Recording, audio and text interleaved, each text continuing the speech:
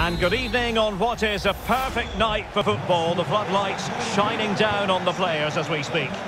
I'm Derek Ray, and I'm joined here on the gantry for commentary by Stuart Robson. And we have golden goal in effect. The first to score will emerge victorious.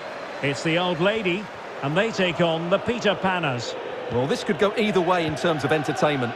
Hopefully we see two teams who want to win the game, rather than two that are afraid of losing. But I'm optimistic. Felipe getting in there to take it away. Bale looking purposeful, getting into that advanced position. There it is, a goal, a golden goal. Well, they got their reward. They were positive right from the start.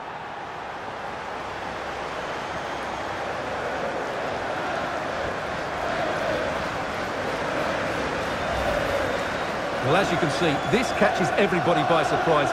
Look where he is when he strikes it. That's a great goal.